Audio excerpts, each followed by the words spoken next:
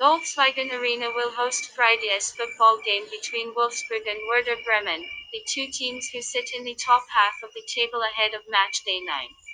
Wolfsburg are undefeated in the 2020-21 Bundesliga campaign, with the team heading into the match following back-to-back wins over Hoffenheim and Schalke 04. The Wolves aim to cement their spot in top 6, and they are likely to adopt an attack-minded approach in Friday's clash. As always, the man to keep an eye on in the home team will be Dutch international Wout Weghorst, who extended his goal-scoring run at the weekend. Die Werderaner, on the other hand, shared the spoils with each of their previous five rivals in Bundesliga.